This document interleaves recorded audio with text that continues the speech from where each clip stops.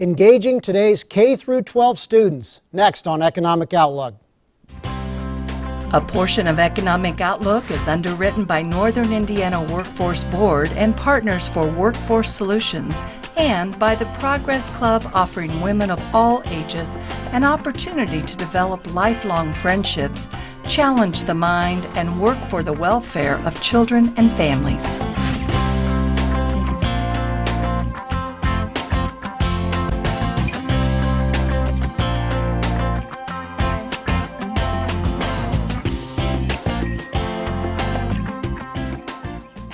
Hello, I'm Phil D'Amico, Director of Business Growth for the Chamber of Commerce of St. Joseph County, and your host for Economic Outlook. President Obama has asked Congress to overhaul No Child Left Behind to address some school systems that are failing our children. Today, we'll look at different strategies local schools are using to re engage students and prepare them for life after school. We'll find out what creative means are working and the successes behind of it. Joining me in the studio are Rob Staley, from The Crossing, an accredited private school for at risk students. Yolanda Turner Smith from the South Bend Career Academy, focused on middle and high school students. And John Kennedy from the newly created New Tech High School, which will be part of the South Bend Community School System. Welcome to all of you. It's great to have all of you here. I don't know if you've noticed, but education seems to be getting a lot of discussion these days. Just, just a thought in a lot of the states and, and legislatures around our country. But Rob, maybe I want to throw some stats out at you and have you comment on this. Indiana's 35th in adult population with associate's degree, 47th in adult population with a bachelor's degree, 20,000 high school dropouts every year in the state of Indiana, and only two out of every 10 students who enter college finish. And they estimate that nearly 1 million Hoosiers are undereducated, underemployed. What, what do those stats say to you? Well, as a former high school principal for 20 years, it was uh, pretty obvious that uh, we're missing a large group of kids. And um, I, I, think that it's uh, probably not even rational thinking to expect our public schools to be able to service all these kids today in a traditional school setting. And that's what's exciting about school reform to me is that uh, we are now providing some options for kids to go to other educational avenues.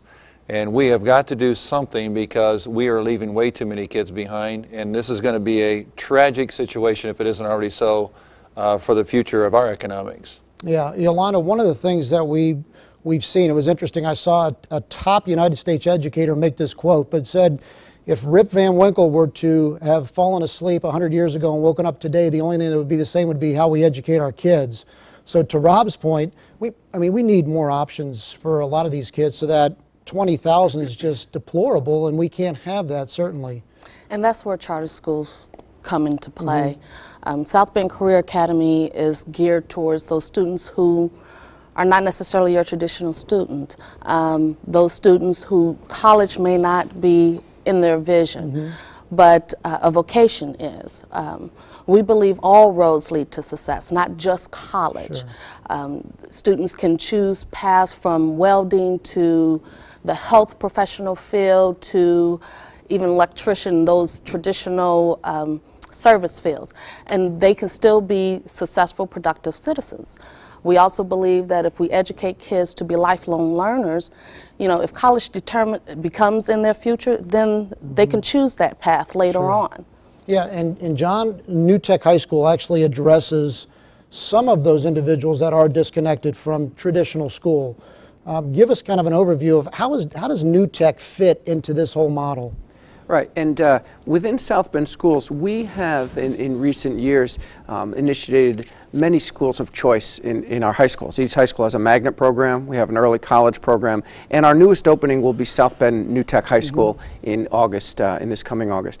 And how New Tech High School fits in is it really changes the instructional model. So what has stayed the same in high schools for those many years is that teacher-student interaction. It's typically the teacher being the, the dispenser of the knowledge right. and the students sitting more passively and absorbing the knowledge. Well, we want to turn that around and the students become the center, they become the the explorers. They, they become the, the, the, the discoverers. They ask the questions as well as answer sure. the questions. They work in teams.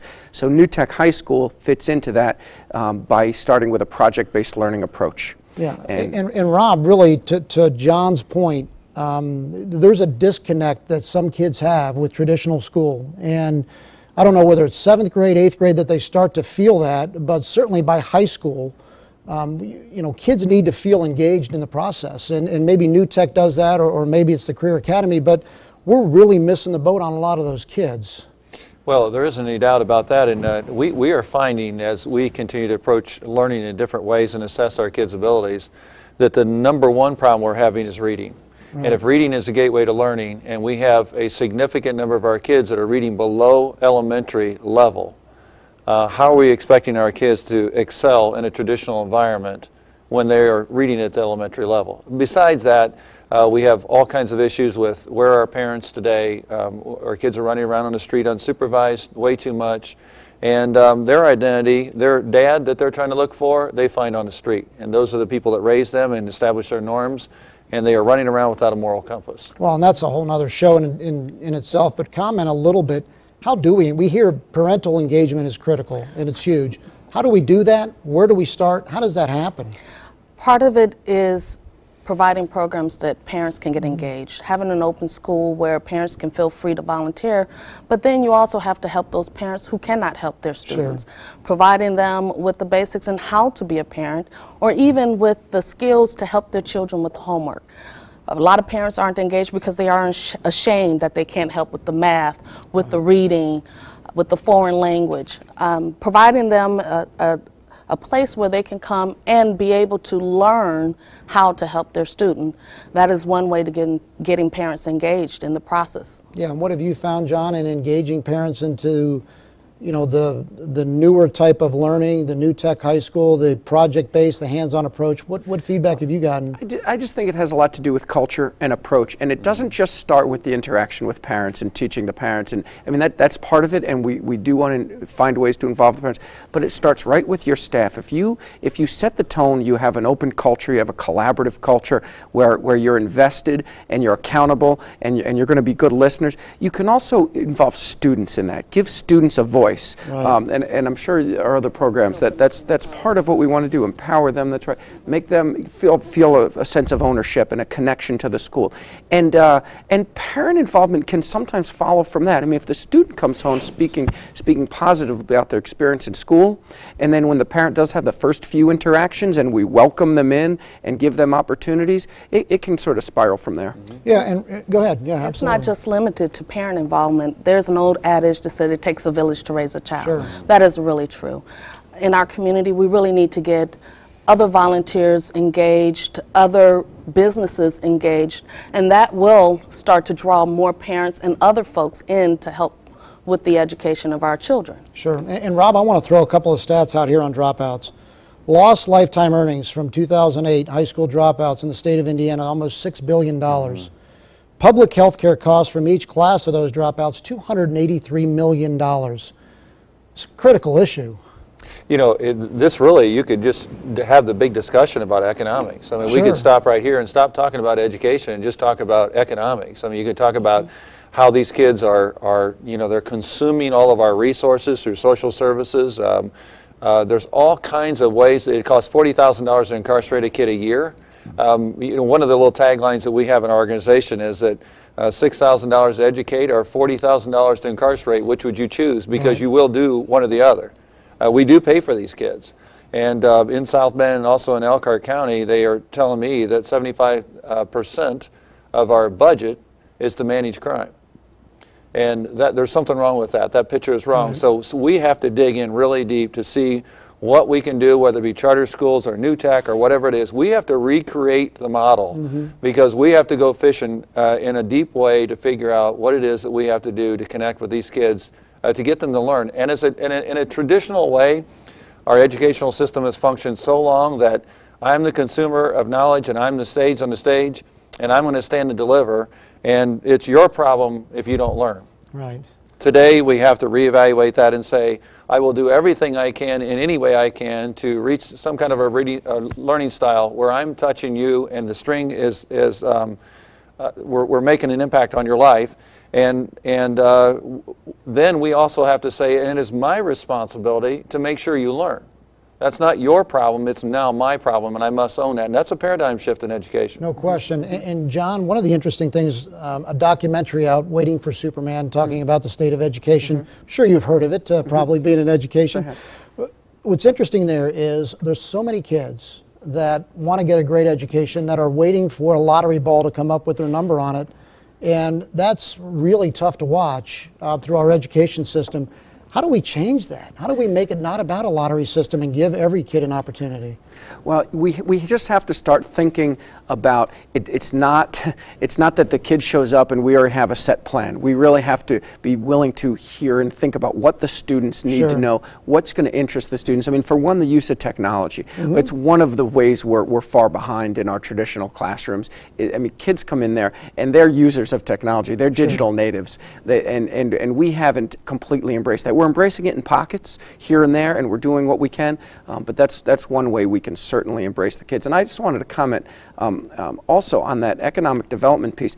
Um, the dropouts and, and things are costing all kinds of money, but we also need to think about are we, even the graduates, are they really prepared for, the econ- for today's economy, for the information age economy?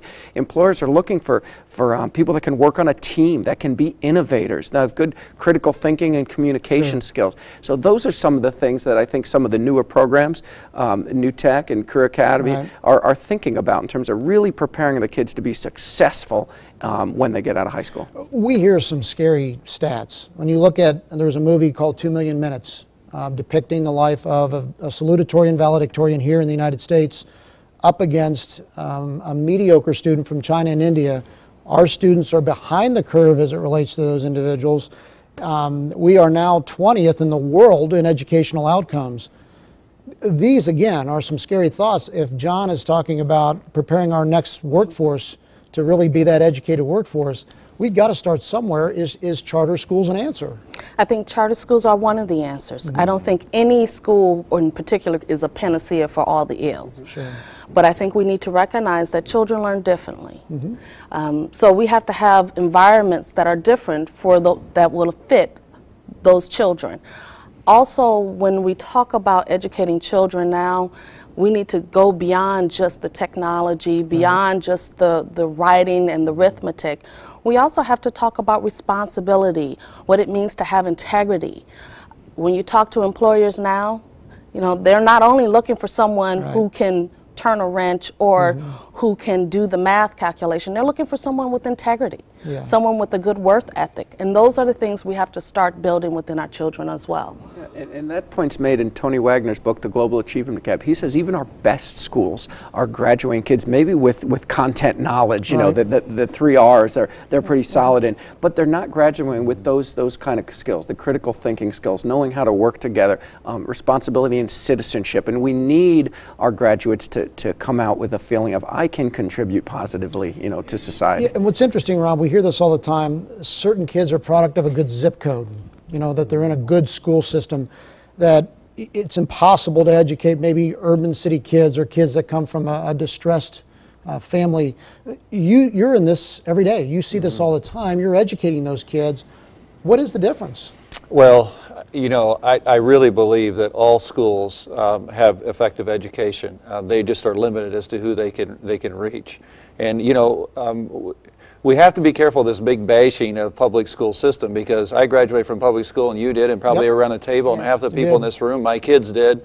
Uh, they went to college, they have good jobs. It's not like this is a disaster, and I know that the uh, the movie portrayed, you know, let's go to L.A. and let's go to the Bronx, okay? let's go to the extremes. But I, I think that the point that we need to focus on is that, and um, Tony Bennett takes a lot of criticism, and the guy is, uh, he's a maverick. And he is out to um, do everything he can to do something very serious about changing the system. We have got to get off of this competitive thing about I don't like charters and I don't like tech or whatever. We have to have synergy within private schools, mm-hmm. charter schools, public schools, and we have to look at this situation and say, where is the best placement for this kid? Mm-hmm. This whole thing about you're going to ruin my school if I'm a public school person if you bring a charter in town. I don't I don't understand that. I didn't get it as a high school principal. I never stood in front of my staff and said, we're really, you know, we're really nervous because there's a charter going in down the road. We would say, there's a charter coming down the road. We're going to step up our game. Right. I'm not, I'm not scared of a charter. We are now going to be, become a better school, and I think charters are going to make all of us better. And um, this whole thing about if it's not in our containment, we just do our own little thing, and if it's not within our little casing, then it surely can't be very good. It's old school thinking. It's going to kill education if we're not careful. I want to switch gears real quick and talk a little bit about the teacher um, and, and talk a little bit about one of the things we've seen. There's a number of things, Dr. Bennett being one of them. Should we compensate teachers differently? Should they be compensated by the measurable outcomes that they are, are working with? Your thoughts on that? I'll put you on the spot first. I'm a great proponent of um, compensating, giving teachers bonus for their performance, how t- kids measure within their class, the growth that they show. Um, I think that that goes a long way. Um, but that does not mean you start teachers low or teachers are low paid. Sometimes people assume when you talk about merit pay and bonus pay Right. that you neglect the other. I think there's a, there's a mixture and it needs to go hand in hand. Your thoughts, Mr. Kennedy? I, I- think there could be a role for that, um, but I, again, I don't think that's absolutely the answer. And it's not. Uh, it, it's easier said than done, especially at the high school level. Just the just the tactics of it when you have kids moving from one teacher to another teacher to another teacher. I mean, how do you actually attribute growth during a school year to a particular teacher? It's it's it's, it's a difficult task.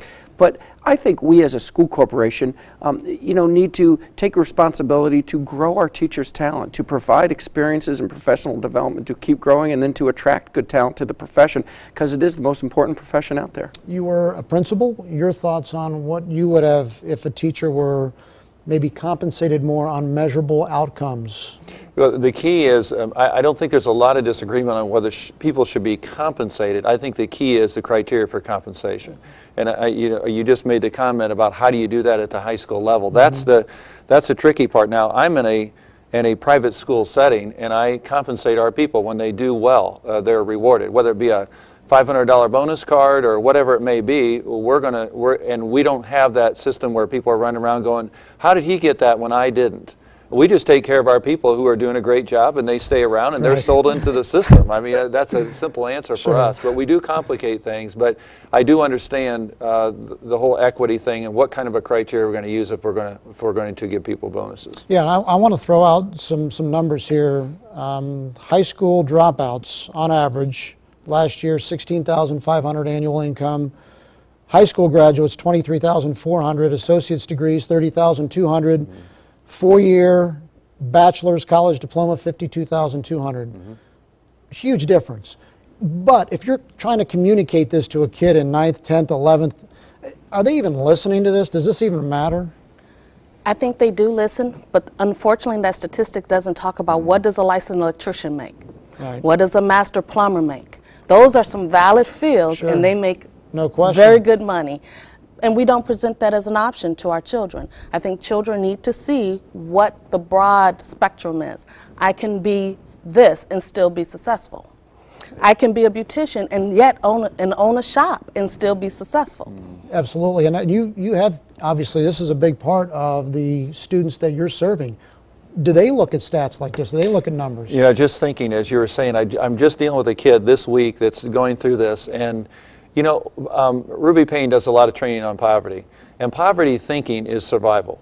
Okay, so when I'm sitting here surviving day to day, and you tell me those statistics, I'm going, yeah, that's great, but you know what? Today, Right. and they don't really get that, and you can.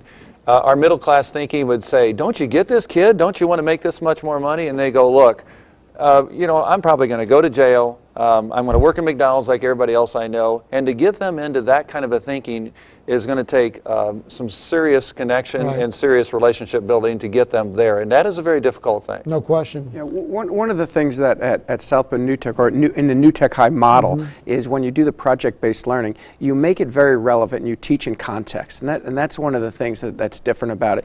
Uh, teachers will introduce, introduce a project. They'll ask the students, what do you need to know about this? And they'll develop their instruction based on those need to knows. And kids see a reason um, to learn something. Kids see a reason to go to school. They make a connection because they're working with teammates and classmates. They make a connection with a teacher in a different way because the teacher's more of a coach Mm-hmm. and a facilitator. And, and those are the kind of things we need to be thinking about is engaging students and finding ways to motivate students, um, you know, kind of thinking on their level about that. Yeah, and I go back to when I had a chance to tour New Tech in Sacramento.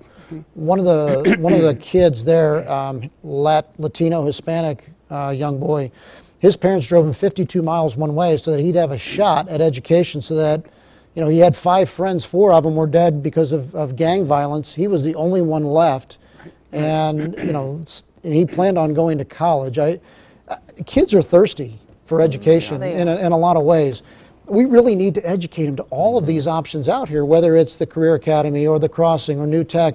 Are, are kids listening to those options? Are they aware of what's out there? I think Mr. Kennedy hit on a real key the relationship building. Mm-hmm. They will hear, they will listen. They may not seem that they're listening, but once you develop those relationships as teachers, as volunteers, as a community, as a staff and an administration, you are getting through.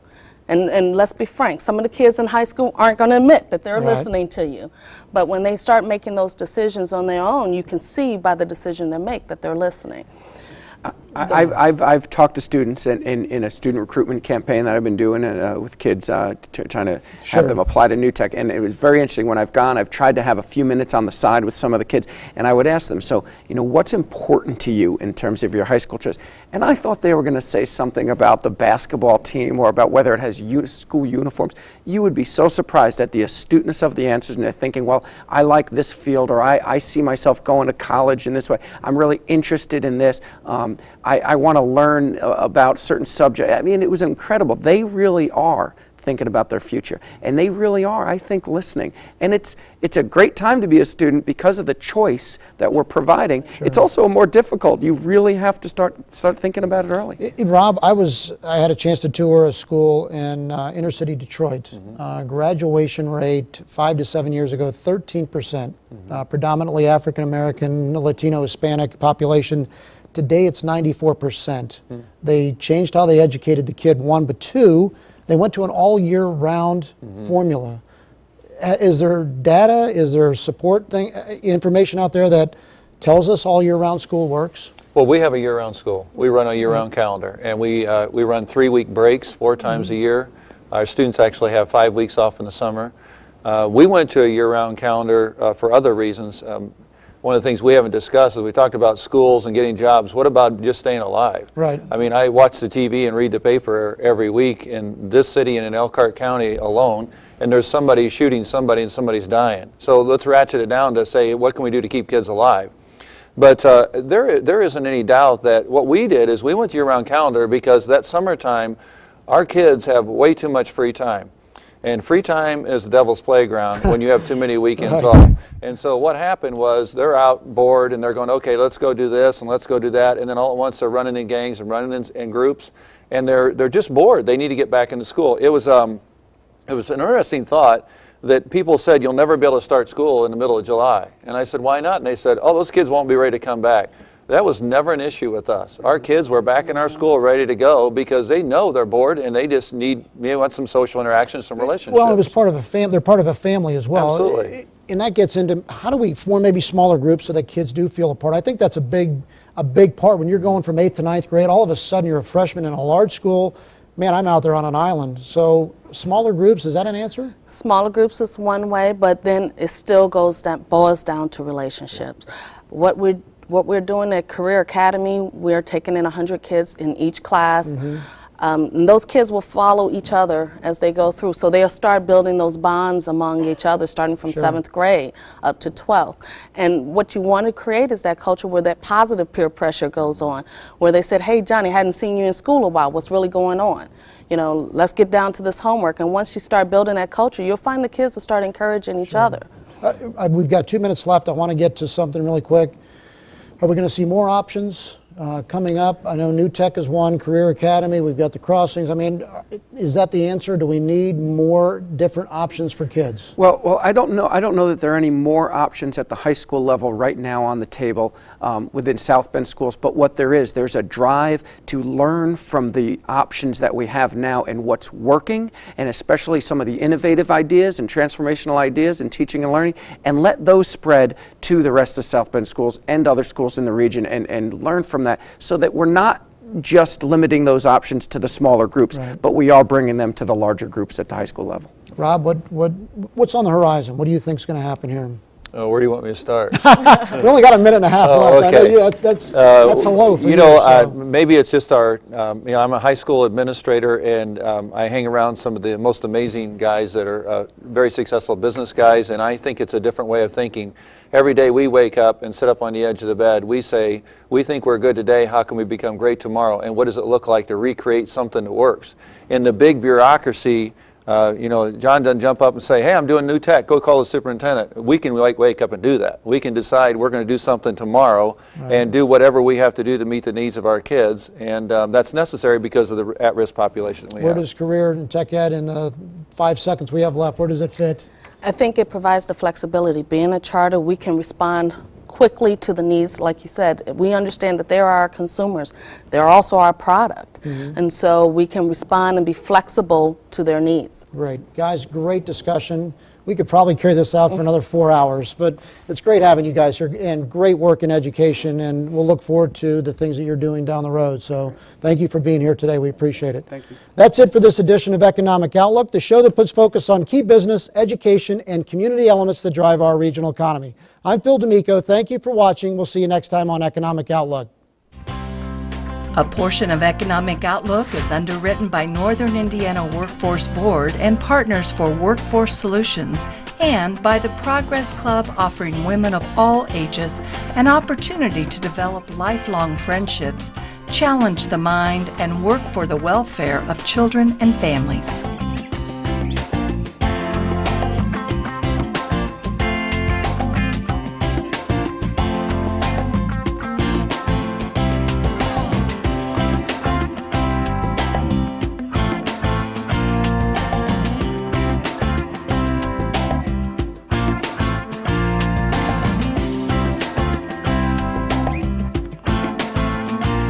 This WNIT local production has been made possible in part by viewers like you. Thank you.